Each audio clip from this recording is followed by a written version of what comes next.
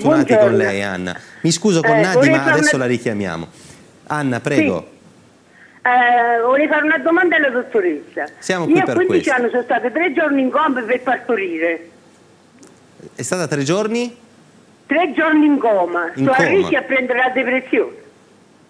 Ah, l'aver avuto un parto difficile, addirittura con un caso di coma come quello sì, che ci racconta. Sì, sono stata tre giorni in coma perché ho preso la gestosa. Sì, sì, sì, sì, sì. no, no, chiaro. Eh, e quindi a 19 anni già avevo tre figli.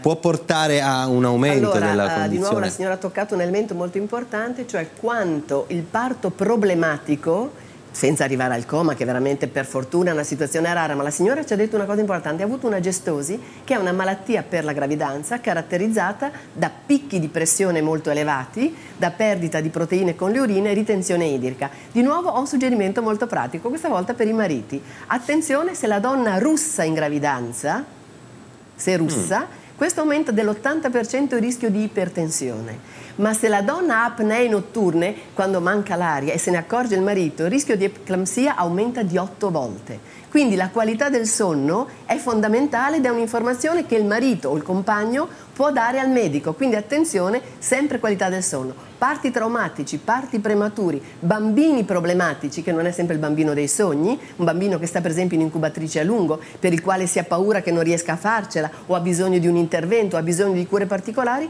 sono tutti elementi che aumentano l'ansia che non fanno dormire di notte, che creano anche sofferenza mm-hmm. fisica, tre giorni di coma è un trauma e quindi possono darci depressione a Micheletti, ma eh, c'è differenza tra il primo e il secondo figlio o terzo e quarto cioè, con l'incidenza di problematiche post parto? Con l'incidenza di problematiche postparto a volte sì, molto spesso no. Eh, da un punto di vista emotivo invece eh, invece sì, perché c'è la mamma che è già preoccupata per il bambino che deve nascere e anche preoccupata per il bambino che aspetta a casa e che in qualche modo si può prevedere che possa avere delle crisi di gelosia. Questo bimbo eh, va trattato con, gran, con, i guanti bianchi perché non sono capricci, ma è un momento estremamente delicato per lui perché che cosa capisce immediatamente? Che il bambino è, della mamma e del papà e non è suo, che eh, la mamma non è più tutta per lui e che questo frugoletto non gioca con lui. Quindi basta e avanza per creargli una situazione di grandissima difficoltà.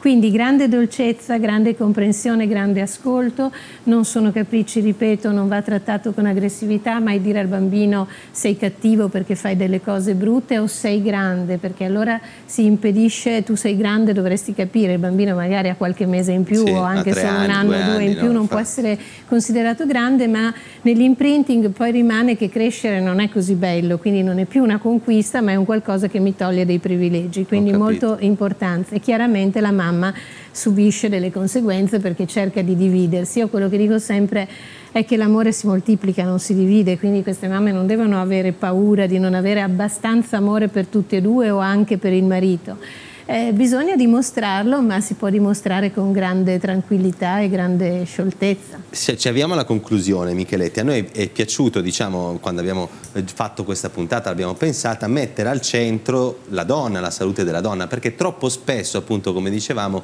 si pensa sempre al bambino no? e si trascura invece quelli che possono essere tanti problemi. Tuttavia, in chiusura in chiusura riusciamo a eh, riprendere la signora Nadi che, eh, da Verona sperando con una qualità della linea migliore. Nadi mi sente? Sì, sento benissimo, buongiorno. Eh, ora un po' meglio la sentiamo, ci dica, ci dica. Sono una donna da tre anni, come ho detto prima, con due bambini, uno di sei anni e un altro di sette mesi, sì. tutti e due con, con parto di tale cesareo. Col primo bambino non ho avuto cioè, non ha avuto problemi, problemi. Ma col secondo, ehm, invece subito dopo il parto ho avuto sempre questo mal di testa e ero anche tanto eh, gonfia, no? E, ho messo tanto tempo a perdere i liquidi, come dicevano sempre che andava bene perché era estate, perché eh, questo mal di testa non mi ha mai abbandonato, nel sì. senso ho fatto un calvario fino a che sono stato ricoverato in neurologia. Eh, volevo chiedere fino a che punto c'entra questo con il post Chiarissimo, chiarissimo. Tra l'altro mi hanno riscontrato anche il ipotiroidismo in gravidanza. Perfetto, grazie signora Nadi. Eh, allora, Col primo figlio tutto a posto, col secondo invece forti mal di testa che non, eh, non passavano mai, tanto da, da ricoverare in neurologia. È stato diagnosticato anche un ipertiroidismo durante la gravidanza. Chiedeva alla signora se questi mal di testa possono essere in qualche modo associati. È una domanda un po' più forse eh, tecnica, non so se riesco sì, a cavarne all'ipertiroidismo? Ah, o, o alla, al postpartum o alla al depressione, a questo sì. tipo di... E di nuovo la, la cefalea può essere eh, scatenata o peggiorata innanzitutto da variazioni incredibilmente della situazione intestinale. Per esempio alle signore bisognerebbe chiedere se dopo il parto avevano notato un peggioramento del modo di andare di corpo, se ha di più diarrea o stitichezza, perché la carenza di ormoni cambia questo e soprattutto il fatto di avere diarrea significa avere, o comunque delle feci più morbide, una infiammazione di parete, ma questo aumenta le intolleranze e per esempio in questi casi un consiglio semplice è quello di per esempio eliminare il glutine dalla dieta per due mesi mesi e vedere se la cefalea si riduce,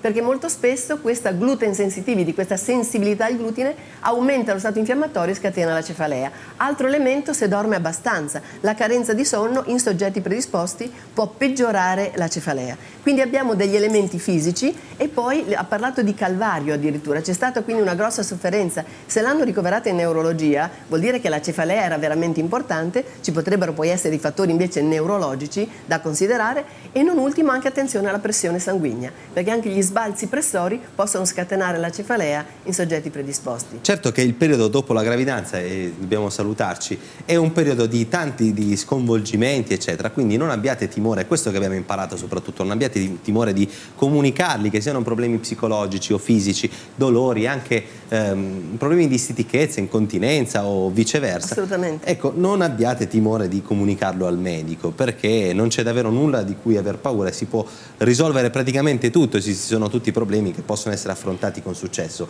Alessandra Graziottin, eh, direttore del centro di ginecologia al San Raffaele Resnati, grazie per essere stata qui con voi, noi, dalla stessa struttura Chiara Micheletti, psicologa, psicoterapeuta, grazie anche a lei dottoressa, grazie vi ricordo solo ancora la Fondazione Graziottin, qui con la Presidente, visitate il sito se volete informazioni sulla salute della donna.